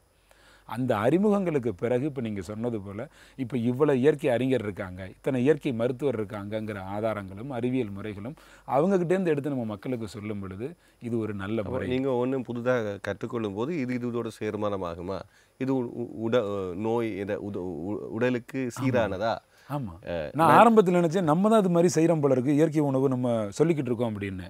அந்த ஆசிரமத்துக்கு போன பிறகு தான் தெரியுது எத்தனை அறிஞர்கள் இந்த உலகத்தில் இருக்காங்க அப்படிங்கும்போது இப்போ நம்ம அறிவுக்கு நம்ம ஏதோ ஒன்று செய்கிறோங்க என்ன இருந்தாலும் நமக்காக செய்யும்போது நம்ம அறிவுக்கு தான் பண்ண முடியும். ஏதோ இப்போ நீங்கள் அதாவது உங்களுடைய புதிய சிந்தனை உண்மையில் வியக்கத்தக்க சிந்தனை. இதில் மாற்றுக்கருத்துகள் இதுதான் உண்மையும் கூட. ஆனால் அந்த உண்மையில இப்போ நாங்கள் சரியானது செய்ய வேண்டுமென்ற கடமைக்கு தள்ளப்பட்டிருக்கிறோம். அவ்வளோதான் அங்கே சிக்கலே தவிர இதில் மாற்றுக்கருத்து இல்லை. இப்போ நாங்கள் எங்கே நிப்பாட்டி எங்கே நாங்கள் நிறுத்தினோம்ன்ற அறுதியில் இந்த உணவுகள் உண்மையாகவே உடலுக்கு ஆரோக்கியமானது என்பதனை எப்படி நிறுவுவீர்கள் என்று. நீங்கள் சொல்லுகிறீர்கள் பல நிபுணர்களை சந்தித்து அதன் பிறகு நீங்கள் எடுத்து எடுத்துக்கொண்டு வருகிறீர்கள் சரி. இப்போ இதை நாங்கள் பயன்படுத்துவதற்கு உபயோகிக்கின்ற மரக்கறி வகைகள் இயற்கை தாவரங்கள் நீங்கள் சொல்லக்கூடிய பழங்கள் அத்தனையும் இப்போது உண்மையாக இயற்கையாக கிடைப்பது இல்லை. இல்லை. ஆமாம் அத்தனையும் ரசாயனத்தோடு கலந்து தான் வருகிறது. இப்போ இந்த சவாலையும் வெல்ல வேண்டிய ஒரு சூழ்நிலைக்கு தானே நம்ம மக்கள் தள்ளப்பட்டிருக்கிறாங்க. இதுக்கு நீங்க சொல்ற பதில் என்ன? இதுக்கு பதில் சொல்ல முடியும். இது பதில் சொல்லி அனைவரும் பயன்படுத்துங்க. ஆஹ் முடிஞ்சா அவரவர் நீங்கள் இயற்கையாக விளைய வைக்க பாருங்கள் விளைய வைக்க முடியாது. இயல்பாக முடியாது. ஒரு பப்பாளி வேணும் ஒரு சாத்துக்குடி வேணும் ஒரு ஆரஞ்சு வேணும் கடைக்கு போகத்தான் வேணும். அப்போ என்ன செஞ்சுக்கலாம்னா ரசாயனங்கள் மேலே ரசாயன பூச்சிகள் இருக்குது அப்படிங்கிற போது நல்ல வெந்நீர் வச்சு ஒரு ஒரு மணி நேரமோ அரை மணி நேரமோ அந்த வெந்நீரில் அந்த காய்கறிகளையோ அந்த பழங்களையோ உப்பு போட்டு ஊற வச்சிட்டிங்க அப்படின்னா அது மேலே உள்ள ரசாயனங்கள் எல்லாமே நம்ம எடுத்துட முடியும். மரபணு மாற்றம் செய்யப்பட்டதை நம்ம எதுவுமே செய்ய முடியாதுங்க. முடிஞ்ச வரைக்கும் நம்ம வீட்டில் ஒரு பப்பாளி செடி வச்சா ஆறு மாதம் ஏழு மாதத்துலேயே பெரிய அளவுக்கு வந்துடும் ஒரு மாதுளங்கன்று வீட்டில் வச்சுக்கலாம் ஒரு கருவேப்பிலை செடி வீட்டில் வச்சுக்கலாம். இது நாமளே உற்பத்தி பண்ணிக்கலாம். இப்போ நான் நிறைய மக்களுக்கு சொல்லுவேன் உங்கள் வீட்டு பக்கத்தில் எப்படியும் ஒரு காலி இடம் இருக்கும். யாரோ ஒருத்தர் வீடு கட்டாமல் வச்சுருந்தா கூட அவங்க கிட்ட கேட்டு ஒரு சின்ன தோட்டத்தை உருவாக்குங்க. ஒரு வருஷத்தில் அது வளர்ந்து வந்துடும் நம்மளே காய்கறிகளை உருவாக்க முடியும். அல்லது ரசாயன காய்கறிகள் வாங்க நம்ம கழுவி தான் பயன்படுத்த முடியும். ஏற்கனவே இது நாள் வரைக்கும் நம்ம ரசாயன காய்கறி தான் சாப்பிட்டுக்கிட்டு இருந்தோம். அந்த ரசாயன காய்கறியை சமைச்சு ஏற்கனவே கெமிக்கலாக இருக்கிறத கெமிக்கல் ஸ்கொயர்டாக மாற்றி தான் சமைச்சு நம்ம சாப்பிட்டுக்கிட்டு இருந்தோம். வெப்பம் அது மட்டும் சொல்லக்கூடாது. கெமிக்கல் ஸ்கொயட் அதுக்கு நாங்கள் போகிற பாம் ஆயில் வெஜிடபிள் ஆயில் ஸ்கொயட் த்ரீ அதுக்கு மேலே ஏஜென்ட்ஸ்லாம் நிறைய சேர்ப்பாங்க. அவ்வளோ விஷம் சாப்பிட்டே நம்ம உடம்பு இன்னும் ஓரளவுக்கு நல்லா தான் இருக்குது நம்ம நம்ம உடம்புக்குள்ள வந்து விஷம் நீக்கக்கூடிய நஞ்சு நீக்கக்கூடிய கல்லீரல் நஞ்சை நீக்கிடுவாருங்க. வேறு வழியில் இப்போ ஏபிசி ஜூஸ்னு ஒன்று சொல்லுவோம். ஆப்பிள் எடுக்கணும் ஒன்று ஆப்பிள் பாதி சைஸுக்கு பீட்ரூட் எடுத்துக்கணும். அதில் பாதி சைஸுக்கு நாம் ஒரு கேரட் கொஞ்சம் எடுத்துக்கணும். ஏபிசி ஜூஸ் அப்படின்னு எடுப்போம். இது வந்து கெமிக்கலாக தான் இங்க மரபணு மாற்றம் செய்யப்பட்டதாக கூட இருந்தாலுமே அதை நம்ம சமைக்காமல் பகுக்காமல் ஆய்வு செய்யாமல் அப்படியே நம்ம சாப்பிடும்போது லிவர் சத்து அசத்துன்னு அந்த கழிவுகளை பிரிக்கிறதுக்கு வசதியாக இருக்கும். நீங்கள் சமையல் செய்து உள்ளே அனுப்பும்போது லிவர் கன்ஃபியூஸ் ஆயிடுது இது சமைச்ச உணவு நமக்கு இயற்கைக்கு எதிரான உணவு இல்லைன்னு ரொம்ப கன்ஃபியூஸ் ஆகுது. நீங்கள் நீங்கள் வெரி ப்ராக்டிக்கல் இயல்பாக சொல்கிறீங்க அதாவது ரசாயனத்தை முறையடிக்கிறதுக்கான சக்தி எங்களுக்கு இல்லை. கடையில் அப்படி தான் இருக்குது அது இருந்தாலும் அதை நாங்கள் பார்த்து செய்யலாம். ஆனால் இப்போ தேங்காய் போன்ற விடயங்கள் இன்னும் விவசாயம் கலக்காத நல்ல விஷயங்களும் இருக்குது இருக்கு. இருக்கு இப்போ அதுகளை நீங்கள் கூட பயன்படுத்துறீங்களா? நாங்கள் தேங்காய் தான் அதிகம் பயன்படுத்தும் தேங்காய் வாழைப்பழம் அதிகம் பயன்படுத்துவோம். தேங்காய்ங்கிறது மனிதன் கருவில் வந்து வயித்துல எப்படி குழந்தை பத்து மாதம் இருக்கோ தேங்காய் அதே மாதிரி பத்து மாதம் இருந்து வர்றதுங்க. இது அது வந்து தெய்வீக உணவுன்னு சொல்லுவோம். இப்போ தேங்காயும் வாழைப்பழமும் ஹிந்து கோயில்களில் பிரசாதமாக கொடுப்பாங்க. இஸ்லாமியர்கள் திராட்சை இஸ்லாமியர்கள் வந்து ஆம், பேரிச்சம்பழத்தை பெருசாக சொல்லுவாங்க பேரிச்சம்பழத்தை பிரசாதமாக எடுப்பாங்க. கிறிஸ்தவர்கள் தான் திராட்சை ரசம் எடுப்பாங்க. இந்த நாலுமே தேவ தெய்வீக கனிகள்னு பேர். உண்மையிலே அப்படித்தானே? ஆமாங்க. எப்படிப்பட்ட வியாதி இந்த நாலு கனிகளை வச்சு நீங்கள் குணப்படுத்திடலாம். இப்போ உடம்பு ரொம்ப அதிக கொழுப்பாக இருக்காங்க அப்படின்னா ஒரு பதிமூணு நாளைக்கு திராட்சை ஜூஸ் தொடர்ந்து குடிச்சுக்கிட்டே வந்தாங்க அப்படின்னா எடை குறைஞ்சிரும். பதிமூணு கிலோவே குறையும். நாங்கள் நிறைய பேர் அப்படி ப்ரூஃப் பண்ணியிருக்கோம். பதிமூணு நாள் எந்த சாப்பாடும் இல்லை. திராட்சை ஜூஸ் மட்டுமே சாப்பிடுவாங்க. உடலுக்கு எந்த எந்த பாதிப்பும் வராது. பக்க விளைவும் வராது. அப்படி பக்க விளைவு வர்ற மாதிரி அவங்களுக்கு ஒரு பசிக்கிற மாதிரி உணர்வு இருந்ததுன்னா இடையில பிரேக் பண்ணிக்கலாம். பிரேக் பண்ணிட்டு அப்புறம் ட்ரை பண்ணிக்கலாம். அது மாதிரி செய்துக்க வேண்டியது. எல்லாருக்கும் எல்லா முறையும் ஏற்றுக்கும் அப்படின்னு சொல்ல முடியாது. அது அவ- அவர்களுடைய உடை அது நான் கேட்க இருந்தேன். நல்ல இடத்துல நிறுத்தி இருக்கிறீங்க. இப்போ இப்போ இப்போ இன்சுலின் இவ்வளவு தான் போடணும். இவருக்கு சுகர் என்று சொல்கிறேன் நான் இப்போ உடலுக்கு இப்போ எங்களுடைய ஆதிகால ப- தமிழ் மருத்துவ முறை சித்த மருத்துவ முறையில் உடலுக்கான வெப்பம் இருக்குது சாதாரணமாக நா நா நாடி அளந்து தான் நாங்கள் பார்ப்போம். அதில் அந்த நண்டு மாறி பாயிறது தவளை மாறி பாயிறதை வச்சு தான் இதயம் குணம் இதுகள் எல்லாத்தையும் அந்த காலத்தில் ப பயன்படுத்துகிறாங்க ஆனால் அதுலேயும் நீங்கள் பார்த்தீங்கன்னா இந்த என்ன இந்த பயன்பாடுகளில் இப்போ இந்த உணவு என்ற ஒரு விஷயம் செரிமானம் அடைதல்ன்றது இந்த பிராணம் என்று சொல்கிற வெப்பத்தில் தங்கியிருக்குன்னு சொல்லுவாங்க. அப்போ அந்த எங்களுக்கு இருக்கிற வெப்பம் எங்களுக்கு என்னன்னு தெரியாமல் கொமனாக இருக்கிற மருந்து ப்ரிஸ்கிரிப்ஷனை கொடுக்கறது சரியா? சர்க்கரை வியாதி ஒருத்தருக்கு இருக்குது அப்படின்னு எப்போ தெரிவிச்சிட்டோமோ தெரிவித்த பிறகு தான் அவருக்கு சர்க்கரை வியாதி இருக்குது இப்போ ஒரு வேளை இப்போ பாருங்க நீங்கள் கழுத்து வலின்னு நம்ம ஆஸ்பத்திரிக்கு போயிருப்போம் காய்ச்சல் அடிக்குதுன்னு ஆஸ்பத்திரிக்கு போயிருப்போம் தலைவலின்னு மருத்துவமனைக்கு போயிருக்காங்க. இதுவரை யாராவது ஒரு நபர் எனக்கு தைராய்டு இருக்குன்னு மருத்துவமனை போயிருக்காங்களா? சர்க்கரை வியாதி இருக்குன்னு மருத்துவமனை போயிருக்காங்களா? கிடையாது. அவங்க ஏதோ ஒரு காரணத்துக்கு போவாங்க அங்கே ரத்த பரிசோதனை செஞ்சு அதன் பிறகு சர்க்கரைன்னு அறிவிச்சிருவாங்க. அது அறிவிக்கப்படுற வியாதி. அதிலிருந்து அவருக்கு இப்போ பேர் வந்து சுரேஷ் அப்படின்னு ஒருத்தர் ஆஸ்பத்திரிக்கு போகிறாருன்னா இனிமேல் தைராய்டு சுரேஷ். ம். சக்கரை வியாதி சுரேஷ். இப்படி மாறிடும் பேருக்கு பக்கத்தில் அதையும் ஒரு டிகிரி மாதிரி இப்போ சேர்த்துக்கிறாங்க வியாதிகளை. வியாதிகள் அறிவிக்கப்படாமல் இருந்தால் நம்ம முன்னோர்களுக்கு இந்த வியாதிகள்லாம் இருந்துச்சா அப்படின்னா அரைவாசி ஸ்ட்ரெஸ் குறைய. ஆமா அவங்களுக்கு கருவிகள் இல்லை பாருங்க. நவீன கருவிகளை வச்சு சோதிச்சு எனக்கு என்ன இருக்குன்னு தெரியாமல் இருந்தாங்க. இதில் இன்னொன்று இருக்கு இல்லையா? அது நான் நான் யோசிச்சிருக்கிறேன். சிந்தனைங்கிற விஷயத்தை தாரது ஹோமோன்ஸ் இப்போ ஒரு விஷயத்தை தூண்டணுமென்றது எங்களுக்கு எல்லாமே சிந்தனையில் இருக்கும். கட்டாயமாக செய்யணுமென்றதுக்கு எங்களுக்கு ஒரு கோ வேணும் இல்லையா? அது ஹோமோன்ஸ் கொடுக்குது. மோட்டிவேஷன் ஏன் பண்ணுறாங்க மோட்டிவேஷன் பண்ணோன்னா ஒரு ஹோமோன் பிடைப்பொண்டு வருது நாங்கள் முன்னுக்கு போகிறோம் இதே போல் பசி ஹோமோன்ஸுன்ற சிந்தனை தான். இப்போ நான் உங்களுக்கு நீங்கள் சொன்ன மாதிரி இப்போ நீங்கள் வாழைப்பழம் அதெல்லாம் சொல்லிக்க என்ன வாயு ஊறுது. உங்களுக்கும் ஊறிச்சு. நீங்கள் அதை நறுக்கி வெட்டும் போது நீங்கள் வெட்டுறீங்க. இதெல்லாம் ஹோமோன்ஸ் செய்கிற வியாதி தானே. அப்போ இந்த ஹோமோன்ஸுன்ற செயற்பாட்டில் தானே விருப்பு வெறுப்பு இது எல்லாமே. இருக்கு இருக்கு. அப்போ இந்த இந்த ஹோமோன்ஸ் எங்களோட ஸ்ட்ரெஸ்ஸுக்கு பெரிய மூல காரணமாக இருக்கலாம் இருக்கும் இருக்கு இருக்கும். பசி பசியை ரெண்டு மடங்கு பசியாக்குறது இந்த ஹோமோன்ஸ் சாதாரண பசி தான். அப்போ ஒரு விதத்தில் இந்த வியாதி இப்படியான பிரச்சனைகளை கொண்டு வரும் என்ற அழுத்தம் அந்த வியாதியை இன்னும் பெருப்பிக்கிறதுக்கு காரணமாக இருக்கலாம். நீங்க யோசிக்க. உடவி உ- உள உளவியல் உடலியல். நாங்கள் உடலியலை பற்றி பேசுகிற நேரம் இந்த உளவியலும் அதுக்குள்ள இருக்குங்கிறத நாங்கள் புரிஞ்சுக்கொள்வோம். ஆமாங்க. நூறு சதவீதம். உண்மைதான். அப்போ இந்த இந்த விடயங்களுக்கு இந்த உங்களுடைய பழக்க முறை மிகப்பெரிய மருந்தா இருக்கும் இல்லையா? இயற்கை உணவு சாப்பிட்டாங்கன்னா அவங்க மனசு மாறிடும். அதான் சொல்லுவான். புளி எடுத்து செத்த இதுல ஆளை நீங்க விட முரண்படுறதுக்கு வாய்ப்பு இல்லை ஏனென்றா அலோ வெஸ்டர்ன் அலோபதி டாக்டர்ஸ் உங்களை உண்மையாவே விரும்புவாங்க. ஏன் சொல்லுங்க பாப்போம் அவங்க சொல்றதும் ஃப்ரெஷ்ஷாக சாப்பிடுங்க. சாப்பிடுங்க.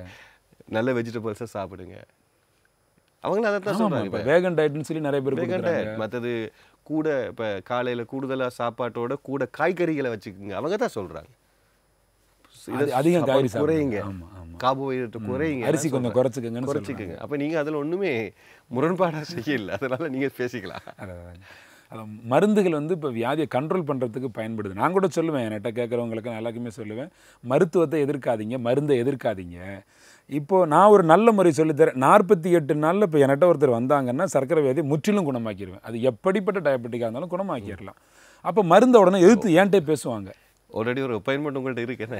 சரி சொல்லுங்க என்னிடம் பேசுவாங்க மருந்தை தென்றல் நீங்கள் மருந்தை பற்றி எதிர்த்து பேசுங்க ஏன் இப்படி இருக்கீங்க? அப்படின்னு சொல்லுவாங்க. நான் சொல்லுவேன் என்கிட்ட வர்ற வரைக்கும் உங்களுக்கு பத்து வருஷமாக சுகர் இருந்துச்சு தானே. அப்போ பத்து வருஷமாக கண்ட்ரோலில் வச்சுக்கிறதுக்கு உங்களுக்கு சு- மருந்து உதவுச்சு தானே. அப்போ மருந்துக்கு நீங்கள் விசுவாசமாக இருக்கணுமா இல்லையா? அப்போ இந்த ஒரு நல்ல முறைமை உங்களுக்கு தெரிகிற வரைக்கும் உங்களை காப்பாற்றினதே அந்த மருந்து தான். நான் எங்கே மருந்து எதிர்க்கிறேன்? தென்றலாகிய நான் எதிர்க்கிற இடம் வாழ்நாள் முழுவதும் மருந்து சாப்பிட்டே தீரணுங்கிறத நான் எதிர்க்கிறேன். இல்ல மருத்துவ மருத்துவரே வெஸ்டர்ன் டாக்டர்ஸே அப்படி இருக்காதேங்க மாறுங்கன்னு தான். சொல்றாங்க. சரிங்களா? ஆமாங்க. அதெல்லாம் ஒண்ணும் இல்ல. நீங்கள் சொன்னதே மருத்துவர் என்ற பழனியில் ஒரு மருத்துவர் இருக்காங்க. நம்ம பயிற்சிகளுக்கு என்னை அணுகிறதுக்கு அனுப்பி வைக்கிறதே ஒரு அளவு டாக்டர் நிறைய பேர் அனுப்பி வைப்பாங்க. வரக்கூடிய பேஷண்ட் எல்லாம் தென்றல் இருக்காரு போங்க. உங்கள் உணவு பழக்கத்தை மாற்றிடுவாரு போங்கன்னு அனுப்பி வச்சிருவாங்க. மருத்துவர்களும் சொல்கிறாங்க இயற்கை உணவு சாப்பிடுங்க பழங்கள் சாப்பிடுங்க காய்கறி சாப்பிடுன்னு சொல்லாத மருத்துவர் யார் இருக்காங்க? எல்லா மருத்துவரும் சொல்கிறாங்க மக்களுக்கு சாப்பிட நேரம் இல்லை ப்ரிப்பேர் பண்ண தெரியலை. அவங்க சுவைக்கு அடிமையாயிட்டாங்க. அதனால நிறைய பதார்த்தங்களை செய்து செய்து சாப்பிட்றாங்க. ஒரு இனிப்பு வேணும் ஒரு காரம் வேணும். மதியமெல்லாம் சாப்பிடும்போது பார்த்தீங்கன்னா நிறைய ஹோட்டலில் பார்த்துருக்கேன் ஒரு இருபது கப்பு வச்சுருப்பாங்க. ஒன்றில் பாயாசம் இருக்கும் ஒன்றில் சாம்பார் இருக்கும் மோர் இருக்கும் பொரியல் இருக்கும் ஒன்றில் கீரை பொரியல் இருக்கும். எல்லாமே எடுத்து ஒன்றா சாப்பிடும்போது வயிறு செரிக்காது. நீங்கள் சொன்னீங்க ஹார்மோன் சுரக்கணும்னு. ஒரு உணவு போயிடும் ஆமாங்க. ஒரு உணவு ரெண்டு உணவு சாப்பிட்டா வயிறு செரிக்கும். நீங்கள் ஒரு பக்கம் கத்திரிக்காய் அனுப்பிடுறீங்க இன்னொன்று கேரட்டையும் அனுப்பிடுறீங்க. புளிக்குழம்பு சாம்பார் எல்லாம் சாப்பிடும்போது பதினாலு வகையில் சாப்பிடுவாங்க பாருங்க. முதல்ல சோறு சாப்பாடு போட்டுருவாங்க. அதுக்கு பொடி போட்டுக்கிறது. பொடி நெய் இது ஒரு சாப்பாடு. அதே ஆள் திரும்ப சாப்பாடு போட்டு அதுக்கப்புறம் வந்து பருப்பு சாதம். அதே சாப்பாடு போட்டு அதே ஆள் இது ரெண்டு வகை முடிஞ்சிருச்சு. மூணாவது வகை. சாம்பார் ஊற்றிக்குவார் இது மூணாவது. அடுத்து அடுத்தது போவார் புளிக்குழம்பு போவார். அப்புறம் காரக்குழம்பு போவார். அடுத்த டிசைன் ரசம் வரும். அப்புறம் மோர் வரும். இதுக்கடல தயிரை ஊற்றி சில பேர் அப்படியே உடனே தண்ணி ஊற்றி கலந்து சாப்பிட்றவங்க இருக்காங்க. அப்புறம் பாயாசம் அப்பளம் வரைக்கும் பதினாலு ஸ்டெப்பில் உட்காந்து ஒன்றரை மணி நேரம் சாப்பிட்டா அது வயிறா? இல்லை அது என்ன செப்டி டேங்க் மாதிரி நிறைய எதுவும் சேகரிச்சு வச்சுக்கிற இடமா அது? நீங்க இதை சாப்பிட்டு ஒரு முறை நீங்களே கஷ்டப்பட்டுருக்கிறீங்க போல இருக்கே. சாப்பிட்டு கஷ்டப்படுறவங்க ஒரு காலகட்டத்தில். நிறைய பார்த்துட்டு நானும் சாப்பிட்டு சாப்பிட்ருக்கேன்ல நான் நல்லா சாப்பிட்ருக்கேன் ஸ்டார் ஹோட்டலில் இருந்தால் எப்படி சாப்பிடாம இருக்க முடியாது? அதுதானே பார்த்தேன். சாப்பிடாம அது அவ்வளவு அழகா சொல்றீங்க அதிலே வச்சு. ஆனா இதே மறுபக்கம் இந்த வாழை இலையில பரிமாறி தமிழர்கள் முறையில முதல் உப்பு போட்டு அதுக்கப்புறம் காரம் போட்டு இப்படித்தான் நீங்க சாப்பிட வேண்டுமென்ற அந்த அந்த விடயமும் அஜீரணத்துக்கு சிறந்த முறையிலான அமைப்பு தான் என்று சொல்றாங்க. அதுவும் உண்மைதானே? அதுவும் உண்மைதான். அதுல அது உண்மை அ- அதுல என்ன உண்மை இருக்குதுன்னாங்க ஒரு முறை உங்களுக்கு வாழை இலை சாப்பாடு போட்டு வாழை இலை வச்சு உப்பு இதற்கு தான் அப்படின்னு உங்க கண்ணு முன்னாடி ப்ராக்டிக்கலாக சொல்லித் தருவதற்கான அது சொல்லித்தர்ற வகுப்பு அது. சாப்பாடை போட்டு லேசாக ரசம் ஊற்றி ரசத்தை சாப்பிட்டு பாருப்பா. நல்லா இருக்கே. இது ரசம் இல்லை மூலிகை ரசம் மூலிகை சாறு அப்படின்னு ஒரு வாய் சோத்தில் உங்களுக்கு ஒரு டீச்சர் சொல்லி கொடுப்பாரு. அப்புறம் ஒரு ஸ்பூன் ரைஸ் வச்சு கொஞ்சம் குழம்பு விட்டு அது உங்களுக்கு சொல்லி தருவார். இப்படி சொல்லி தர்றதுக்கான அடிப்படை முறை அது. நம்ம மக்கள் என்ன பண்ணிட்டாங்க? வாழை இலை போட்டு இது எல்லாத்தையும் நிறைய சாப்பிட்டு தான் எந்திரிக்கணும்ன்ட்டாங்க. புளிக்குழம்புல என்ன சத்துங்கிறத உங்களுக்கு ப்ராக்டிக்கலாக காட்டுறதுக்காக வந்த வகுப்பு. முதல் முறை தான் அது. அதுதான் விருந்துகளுக்கு மட்டும்தான் அது மாதிரி செய்வாங்க பாருங்கள் விருந்தே உருவாக்குனது எதுக்காகனா நான் ஒரு பொண்ணை கல்யாணம் பண்ணி கொடுத்துட்டேன். மாப்பிள்ளை வீட்டுக்கு வர்றாரு. மாப்பிள்ளைக்கு சாப்பாடு வச்சு மாப்பிள்ளை பொண்ணை கல்யாணம் பண்ணிட்டீங்க. நீங்கள் ஆரோக்கியமாக உயிரோடு இருக்கணும்.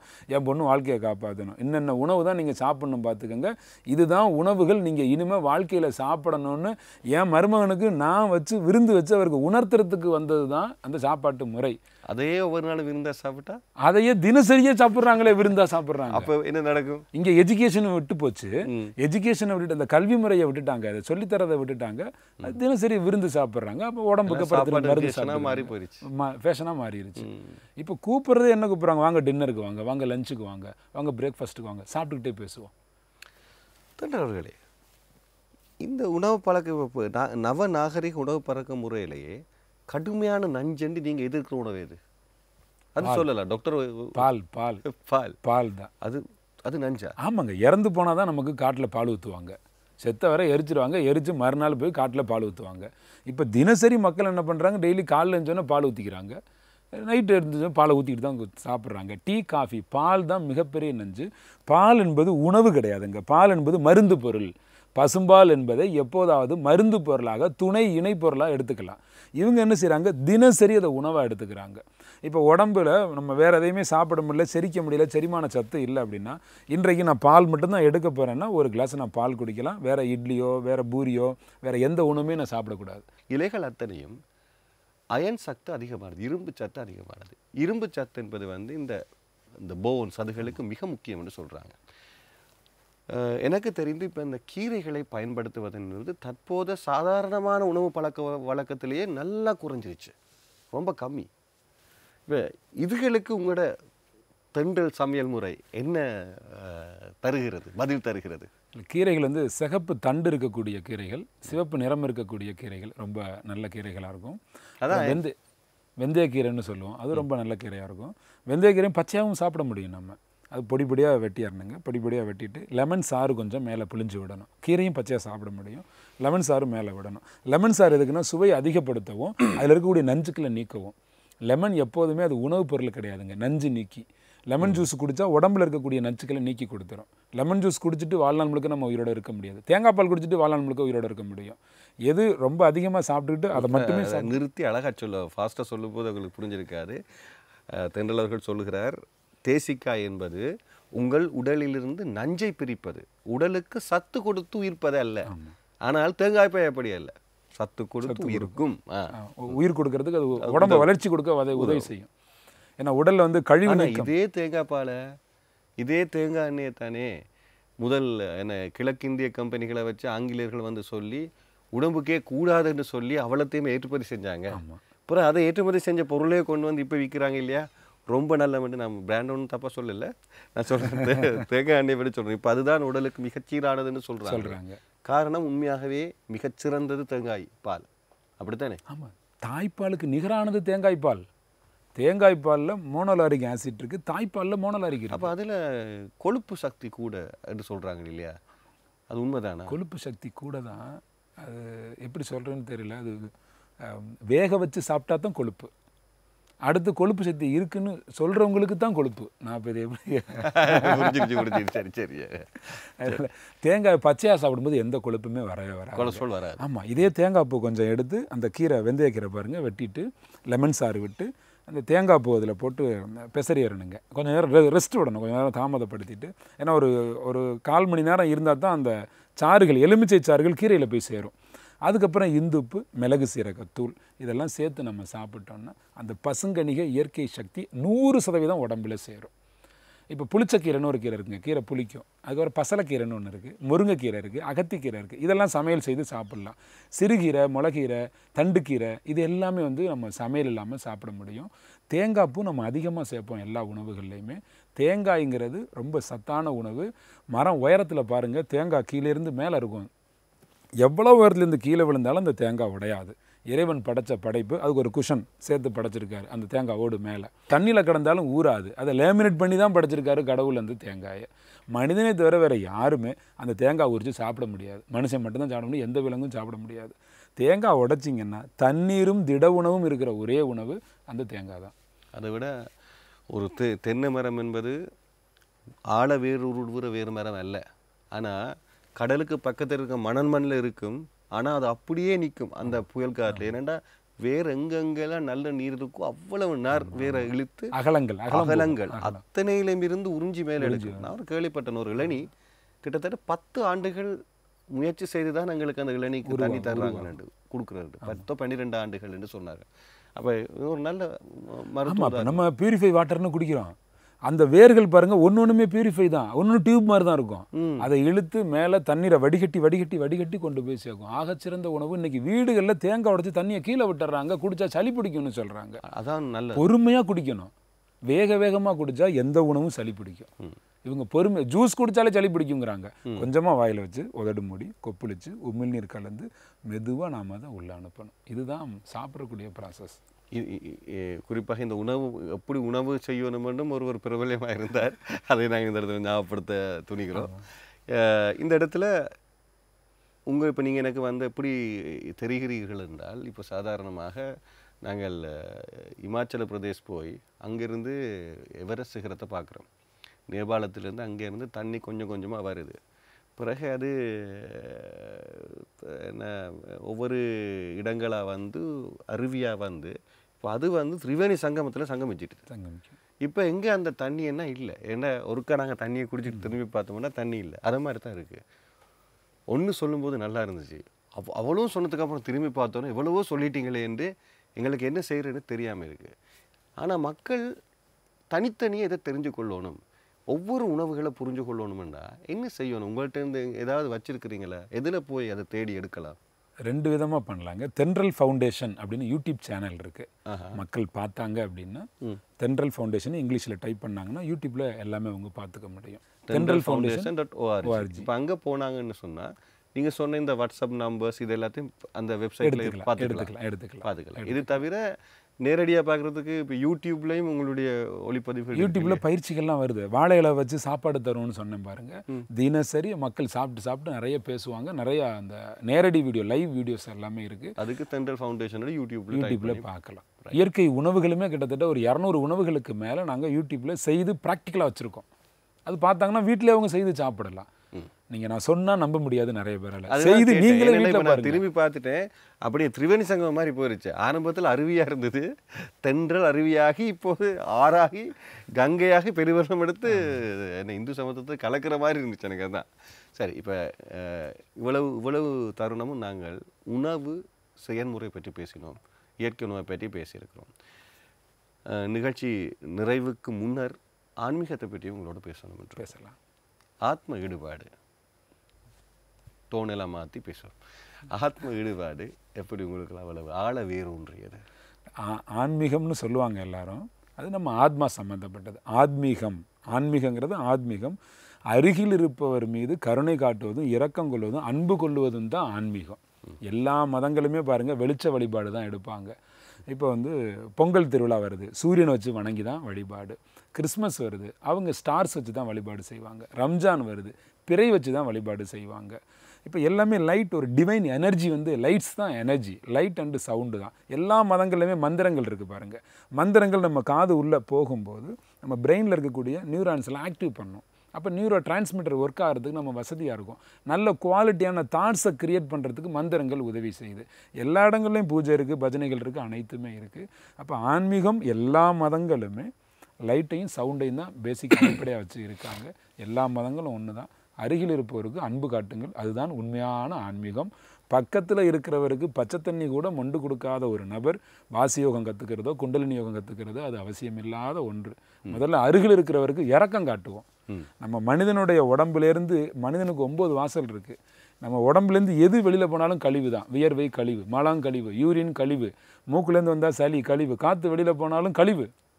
வாயிலிருந்து வெளிவரக்கூடிய வார்த்தையை மட்டும் நம்மளா நினச்சா சுத்தமாக அனுப்ப முடியும். மீதி எல்லாமே கழிவு தான் அதனால் இன்சொல் பேசுங்க. வேறு எதையுமே நீங்கள் நிறுத்த முடியாது. கழிவு தான் வெளில போகும். எல்லா வாசல் வழியாகவும் வாய் வழியாக வரக்கூடிய வார்த்தையை மட்டும் இன்சொல்ல அனுப்புனீங்கன்னா அது ஒன்று போதும். அதுதான் உண்மையான ஆன்மீகம். அருமையான தத்துவம். அருமையான தத்துவம். இந்த உலகத்துக்கே மிகப்பெரிய தடையை கொண்டு வந்த கொரோனா நான் நினைக்கிறேன் தென்றலுக்கு மிகப்பெரிய வாய்ப்பை தந்திருக்க வேணுமெண்டு. ஏன்னா அந்த நேரம் தான் எல்லாரும் வீட்டில் இருந்திருப்பாங்க. எப்படி சமைக்கிறதுன்னு தெரிந்த நேரம் உங்களோட புதுமைகள் அங்கே சேர்ந்துருக்கு. நிறைய பயிற்சி எடுத்தாங்க. வாட்ஸ்அப்பில் தான் நம்ம பயிற்சி தர்றோம் அப்படின்னா. மக்கள் வீட்டில் இருந்துட்டே எடுத்தாங்க. நிறைய பயிற்சிகள் நிறைய நீங்கள் சொன்னது நூறு சதவீத உண்மை. மக்கள் கொஞ்சம் எளிமையாக வீட்டில் இருந்தாங்க. ஃபாலோ பண்ண வசதியாக இருந்தது. ஏன்னா அந்த நாங்கள் சொல்ல அந்த ஒவ்வொரு பண்பாடுகளை பற்றி படிக்கிற நேரம் அந்த பாரம்பரிய பண்பாடு அப்படி வரும்போது நீங்கள் சொன்னது மாதிரி அதாவது வெகுஜன பண்பாடுன்னு சொல்லி அதாவது கைத்தொழில் புரட்சிக்கு பின்னர் தான் இந்த ச என்ன சொல்லுவாங்க மரபார்ந்த செவ்வியல்னு சொல்லப்படுற கிளாசிக்கல் ஜென ஜென ஜெனட்டிக்கல் கிளாசிக்கல் என்று சொல்லப்படுற ஒரு கல்ச்சர் வருது இன்று நாங்கள் கேட்கின்ற ஆத்மீகமான படைப்புகள் எங்களுடைய இசையை வந்து உணர்வோடு சேர்ப்பது ஓவியங்கள் உணர்வோடு வருவது படைப்புகள் எல்லாம் அப்போ தான் பிறந்திருக்கு. அதுக்கு என்ன தேவைப்பட்டுச்சுண்டா? ஒரு ஓய்வு தேவைப்பட்டுச்சு. மனுஷன் ஓய்வாக இருக்கிற நேரம் தான் பல விஷயத்தை தேடுவார். ஆகவே ஓய்வாக இருக்கிறதுக்கு மிகச்சிறந்த வழி சமையல் நேரத்தை குறைக்கிறது. இது பெண்களுக்கு இருக்கிற பெரிய விஷயம். ஆகவே அதை தர்ற ஒரு பெரிய ஒரு வள்ளலாக எங்களுக்கு இங்கே தெரிகிறார் தென்றல் அவர்கள். சமையலுக்கான நேரத்தை ஒதுக்கி ஓய்வை கூட கொடுத்து சிந்திக்க வச்சு இன்னும் சுவையாக பரிமாறுவதற்கான வாய்ப்பு தருவதற்கு எங்களுக்கு வந்திருந்த தென்றலுக்கு மனப்பூர்வமான நன்றிகள். நன்றிகள் ஐயா. மீண்டும் நாங்கள் நிச்சயமாக சந்திப்போம். முடிஞ்சோன்னு அந்த அப்பாயின்மெண்ட் அந்த சாப்பாடு சமைக்கிறது. சரி. என் மனைவிக்கு கொஞ்சம். சொல்லிக் கொடுப்போம். சத்தமா கேட்டுருச்சு. மீண்டும் இன்னும் ஒரு நிகழ்ச்சிக்கு சந்திப்போம் நேர்களே. விடைபெறும் நான் கஜமுகன். நன்றி வணக்கம்.